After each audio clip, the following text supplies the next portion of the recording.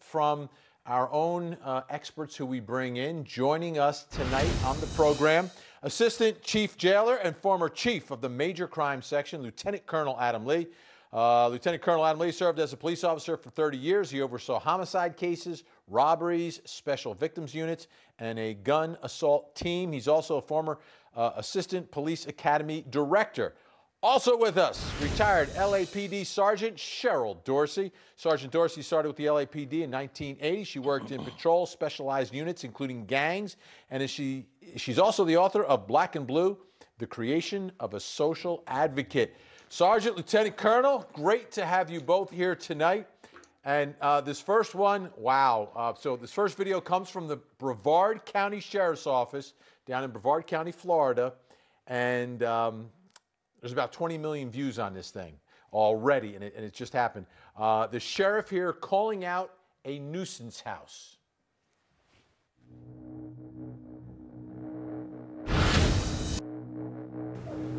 Hello, everyone. I'm Sheriff Wayne Ivey of the Brevard County Sheriff's Office, and this afternoon I'm standing in front of a house at 4295 Delespine Road in Port St. John that has become a complete nuisance to its neighborhood and our agency. Our agency has now responded to almost 100 calls for service at this address in the past 12 months. Now, the calls to this house have been for drugs, drug overdose, where Narcan had to be deployed, fights, stolen vehicles, needles thrown over the fence in the neighbor's yard, disturbances, and so on. In fact, 31 disturbances that we have had to respond to. In addition, our team has made multiple arrests at this address, as well as arrests of various subjects that were leaving the residence and so forth. In fact, just yesterday, we arrested two scumbags who had just left this house who were both violent felons, one of which had actually broken into a house through a doggy door where a 10 year old was sitting in the house playing.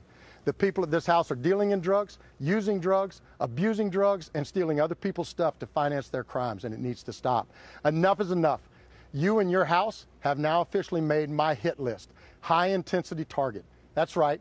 You inside the house, and you know exactly who I'm talking about, are constantly begging to go to jail. So, congratulations. You are now on the sheriff's hit list. And as such, if you can't obey the law, you will very soon find yourself living at a different address, the Brevard County Jail. Now, folks, this is Commander Woolsey. He is our North Precinct commander, and he's going to be our point person on this project. And that's exactly what this is a pet project that is targeting those that commit crimes at this address. I can assure you, that Commander Woolsey and his team would like nothing better than to put bad people in jail that are at this residence causing problems for their neighbors. So starting right now, the house you see behind me at 4295 Delespine Road in Port St. John, Florida, is on his hit list as well, as we are sick and tired of you causing your neighbors to live in constant fear for themselves and their children. Yesterday, we talked to you about a house over um, in Port St. John that was a nuisance house. Today, I'm going to walk one of them into our jail. Uh, they had plenty of warning. This individual not only didn't listen to the warning, but immediately after we left, went and broke into somebody's house. So we're gonna, we're gonna, I told you yesterday, I'm gonna give them a new address, a new place to live so they can't aggravate the neighbors. This is what we're doing right now. If you're gonna break the law in Brevard County, you better find someplace else to do it.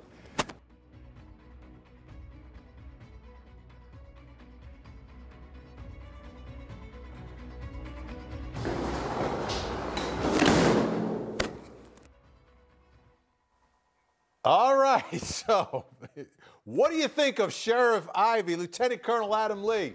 What do you think of the Vinny, sheriff down in Brevard County? Vinny, I, I, like this guy. I mean, if, if you're running against him in the next sheriff election, or you planning on running, you might as well just drop out of the race. He, he just won the election with that video right there.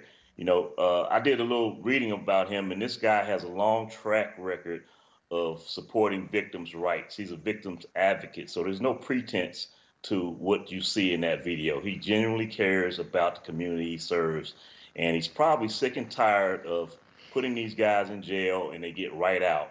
I think he probably needs more support uh, from the judges who are serving in that area because for him to have to resort to this video, that means it's a revolving door. 100 times in, in uh, what, 12 months at this house, that's like three times a week they're showing up. The police are showing up there. So I don't know. That's ridiculous. 20 million views of this video, by the way, uh, Sergeant. Uh, your thoughts about Sheriff Ivey? I think he's out of his mind. Listen, this guy is unprofessional. He's juvenile. And if he's made 31 arrests, what kind of reports are his officers writing over there that they can't write an arrest report that sticks that would garner 31 arrests and no criminal penalty, no time behind bars? What the heck is really going on? And then he stands out here in this buffoonish manner and broadcasts these people's address. So now all we need is a vigilante who decides to deputize themselves come over there and enact some kind of vengeance because the sheriff doesn't seem to know what he's doing and he can't make it stick. He doesn't have reasonable suspicion, probable cause to make an arrest after they've been there a hundred times. What if someone else comes over there and decides that they want to be the police and do what the sheriff can't? All he needs now is a good attorney who can get him a mansion and a yacht somewhere in Florida. Stupid.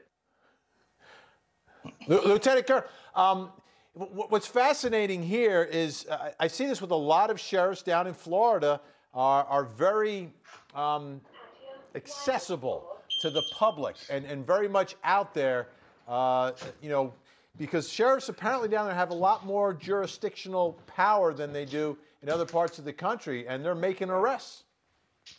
Right. Well, I'm familiar with uh, uh many, well, particularly one jurisdiction right now who is so fed up with the the judges in their area that they have decided to not uh, have car chases. Period. Not to have pursuits, no matter what the crime.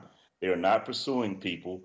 Uh, uh, they have disbanded their narcotics unit, and it's not this particular agency, but I'm familiar with an agency that has done that, a major agency, much larger than this one, that has disbanded their narcotics unit because they're sick and tired of these individuals being out almost before they can get the report documented that they've completed upon arresting that individual. So I think it's a matter of this this uh, sheriff being frustrated with the revolving door that's probably going on in his court system in his area. Next story from WXYZ in Detroit, Michigan. A family seeks answers in a homicide case. It's been really rough. Sherry Lynn Justice Mota's mother was brutally murdered during a home invasion in Redford two years ago. Sherry says she was on the phone with her mother when there was a knock at the door moments before she was killed. And then she says, um, I'll call you right back, baby. And I, and I hesitated before I answered her back because I didn't feel comfortable. And then I'm like, okay, mom, I love you. I'll talk to you later. And she says, Always, baby. I love you. Um, we kissed each other, and then she hung up the phone. Authorities say she was stabbed, and an autopsy revealed there was evidence of blunt force trauma to her body. Fast forward to today, Redford police say they sent charging documents to Wayne County District Attorney for one of the suspects who was a juvenile at the time of the crime. And due to insufficient evidence, the charges were denied. This is not the first time. She was in another home invasion that the brother got shot and she wasn't really a slap on the wrist then too. The other suspect in the case, Martez Story Webb, a 25-year-old, was shot by a homeowner during a break-in a month after Kendrick Rutherford's murder. Police say he attempted to escape from an ambulance on I-94 in Detroit and was shot and killed by a Wayne County deputy. I haven't slept for two days. I've been so upset. I don't know what to do. I've been thinking, brainstorming, what can I do? Can I get a hold of uh, the Supreme Court? Can I sue them? Can I make someone pay for this? I need justice because this is not justice to me. Sherry says her mother was her best friend and life has been empty without her. She was just a funny, great, amazing woman. We reached out to Redford police and a spokesperson said they'll get back to us on Monday. The prosecutor's office says they can't charge a deceased person. Redford PD, though, there's two suspects. They, they, they brought the case on the other suspect. So, what do you do when the DA says you didn't find enough evidence? Uh, Sergeant Dorsey, uh, how does that relationship work out? You know, you bring the charges, you, you show them the evidence, and the DA tells you you don't have enough evidence. Well, it's not uncommon for the district attorney to request additional investigation if they don't feel they have sufficient enough evidence to bring a criminal conviction. Uh, generally, the DA doesn't like to take anything unless they feel like a jury will be compelled to find the person guilty. And so then my suggestion is go back and reinvestigate, do whatever it is you need to do sub uh, additionally so that you can garner that uh, prosecution and, and hopefully a conviction somewhere down the road. Now, I understand that one of them is already deceased. You can't go after him, but for the one that remains alive, if he's a juvie and found guilty, the penalty still may be very minimal. And the family at the end of the day, um, how do you get closure when you lose a loved one? Having someone go to jail for whatever amount of time is never going to fill that void. Lieutenant Colonel, what do you do when the DA says, uh, you know what, you didn't find enough evidence? As Sergeant Dorsey just said, you, you have to go back and try to get more evidence. You, you got to work a little harder. And sometimes it just doesn't work out. You know, you, you work as hard as you can and you give it your best shot, but uh, it doesn't always end well. Uh, like the reporter said, you, you can't charge a, a, dead individual or a deceased person, but you can close a case. If you feel that uh, there's enough evidence there that they feel that this person who is deceased from another incident actually committed that crime, they can close the case uh, based on that without charging. At least that would bring some solace to the family in that regard, because you're going to always bump heads against the DA's office uh, unless there's an open and shut type type of situation. Unfortunately, in that area of the country, uh, based on some recent FBI statistics, their solvability rate is only about 15%. So if you're only solving or bringing to closure 15 out of 100 cases, it doesn't bode well for your community. I don't know if it's a it's a problem with the, the police department there or or with the DA's office. When we come back, crime time continues. We'll take a look at a case involving a sex offender, but the sex offender is not the defendant. The sex offender is the victim. Oh. I feel an overwhelming sense of relief he is dead. I lay in bed too many nights wondering whose life he is destroying now. I know now he isn't hurting any more children and their loved ones. Sexual abuse does not just affect the victim. All right, another one of the stories we're covering tonight in our Crime Time segment. We bring in our own experts with lots of experience and insight. Still with us tonight, Lieutenant Colonel Adam Lee. Also with us, Sergeant Cheryl Dorsey. Great to have you both here. Next story coming to us from KMTV in Omaha, Nebraska. A sex offender murdered.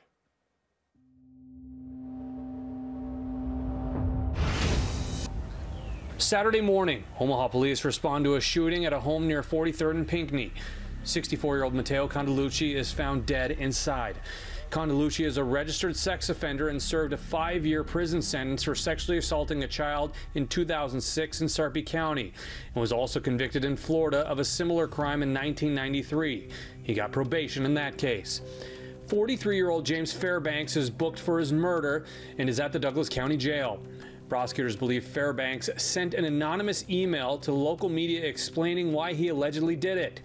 It explains the killer knew about Condalucci's past crimes against children and saw him staring at kids playing near his home. It later says the killer worked with kids for years that have been victimized and couldn't allow Condalucci to do it to anyone else. It also gives details of the alleged murder weapon and crime scene. Fairbanks has been a paraprofessional with Omaha Public Schools for about the last three and a half years. The mother of one of Condalucci's child victims started a Facebook page in 2016 to make people aware of what they say is a predator that moves from state to state, preying on single mothers to get his hands on child victims, and that he's back on the streets. Now, a number of comments saying that they should free James Fairbanks and help pay for an attorney to defend him. Some have even called him a hero. In a written response, Lisa Smith, the mother of one of Condalucci's child victims, who lives out of state, says, quote, I feel an overwhelming sense of relief he is dead. I lay in bed too many nights wondering whose life he is destroying now. I know now he isn't hurting any more children and their loved ones. Sexual abuse does not just affect the victim. The Omaha Police Department wouldn't comment, saying the investigation is ongoing. The Douglas County Attorney's Office will respond once Fairbanks is formally charged. Some on social media wonder if Fairbanks is convicted, if he'll have to serve more prison time than Condalucci ever did. All right, uh, this is a difficult one. Have you ever seen a confession like this, though? He, he writes the letter out explaining everything. Uh, Lieutenant Colonel, let me start with you.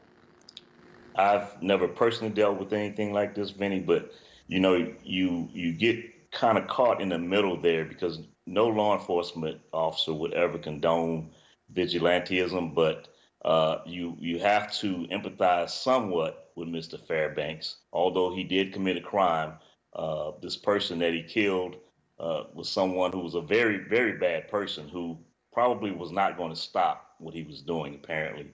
But uh, so it is. A, it puts you in a precarious position as a, as an officer. You have to do your job. You have to make the arrest, but it doesn't mean that you can't feel some way, uh, some form of empathy for the situation.